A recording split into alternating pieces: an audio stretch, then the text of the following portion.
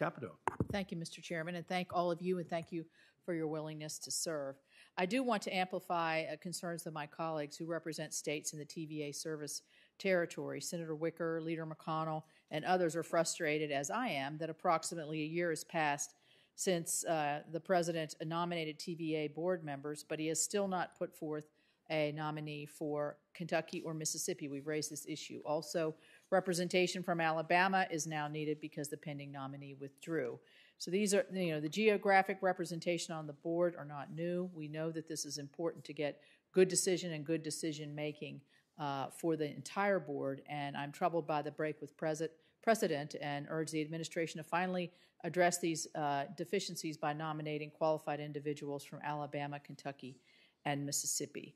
With that, I'd like to just ask uh, Ms. Moore a question uh, and um, to uh, uh, ask about her views on uh, fossil energy generation, which is 40% of TVA's power.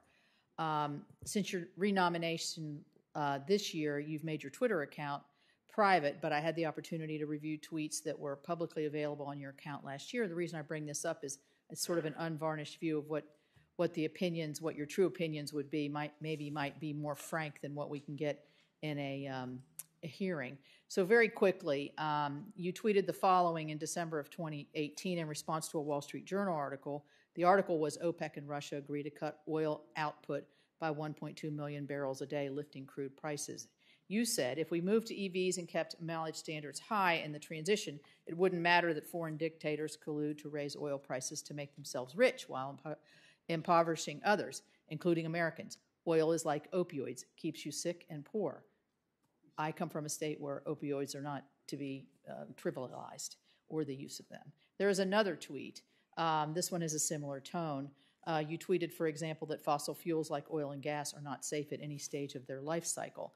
So, how would you respond to that if you're going to serve on a board that has 40% fossil fuels as their power generation? Thank you so much for your question, Senator. I think the you know the my first response for that would just be the spirit in which I would undertake any any decisions or any consideration of future fossil fuel um, uh, choices by TVA and TVA's current diverse mix, and that would be you know number one with the spirit of gratitude. I know that fossil fuels um, helped to fuel the industrial revolution, helped to bring countless families out of poverty, and also helped to bring us closer together by fueling our vehicles and, and fueling airplanes. And if blessed to be confirmed to serve on the TVA board of directors, uh, I would also approach any decisions uh, absolutely in the spirit of the mission of the TVA, uh, which is to balance uh, economic development, uh, environmental quality, and maintaining affordable energy, including resilient, reliable energy for the future. So, when you say that oil and gas are not safe at any stage of their lifestyle, you're kind of going away from that in the statement that you're making right now? I don't think that having gratitude for the good work that uh, oil and gas have done for not just American society but human human civilization is uh, in conflict. You know, with looking towards a future where we have abundant, uh, additional uh, sources of energy and new technologies that are uh, emerging that enable us to move forward. Well, I, I would, would point out to thank thank you for that yes, that TVA the purchase renewal over the last three years hasn't even gone up. It's only at five percent, so mm-hmm. it, that presents a challenge. So for my final minute, I would like to yield to my colleague from Iowa, mm-hmm. uh, Senator Ernst. Yes, thank you, uh, Senator Capito. And Ms. Geer, as you stated in your written testimony, you believe one reason you should be confirmed to serve in the TVA, the Tennessee Valley, is because of your ability to, quote, build relationships and work together, end quote. Is that correct? Thank you, Senator. Yes, that is correct. And you believe civility is a fundamental aspect of your role on the Tennessee Valley Board, if confirmed? I absolutely do, Senator. Yes, and thank you for answering those questions honestly. And I think it appears to be a recent sentiment.